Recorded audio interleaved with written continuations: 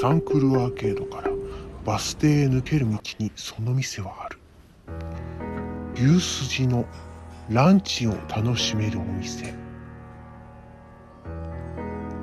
小鉢はサラダと和風スープ。牛すじカレーをいただく。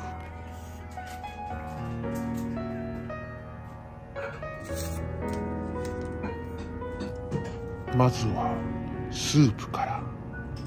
野菜がたっぷり入った。優しい味だ。サラダはさっぱり。そのものの美味しさを味わう。メインのカレーをいただく。ゴロッとした大根が入っている。うん。うまい。たっぷりの牛すじにごぼう。和風だ。大根とごぼうすごく美味しいですね。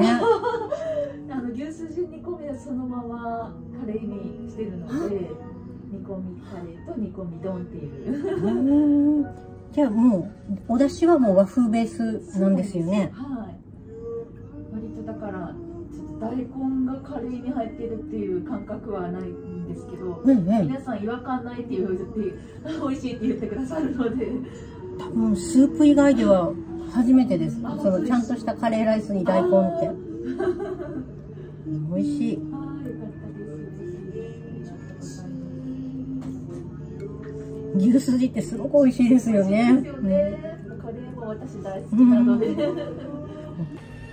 小料理屋の牛すじ煮込みカレーをぜひ味わってほしい。